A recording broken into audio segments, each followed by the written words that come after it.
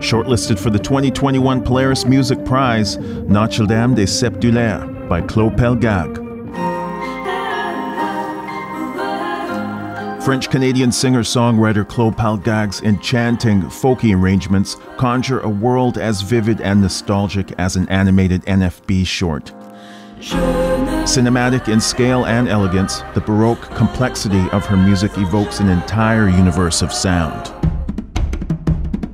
Pelgag's first full length album, La L'Alchimie des Monstres, debuted in 2013, earning her a nomination for the SOCAN Songwriting Prize and the Francophone Album of the Year Juno.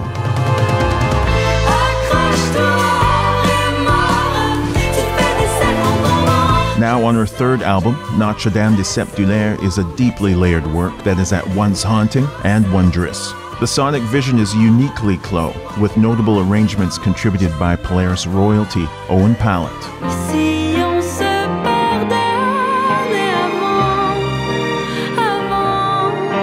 It's a thematically heady trip drawing inspiration from Gabriel Garcia Marquez, Ernest Hemingway, and Vincent van Gogh, working through depression and flagellation, ultimately hinting at freedom through forgiveness.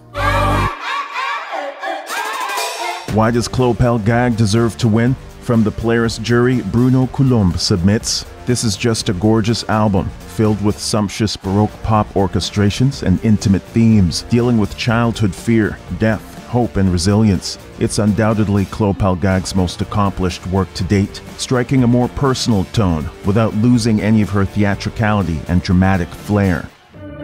For more info on this year's shortlist and the Polaris 2021 winner reveal on September 27th, head to cbcmusic.ca slash Polaris.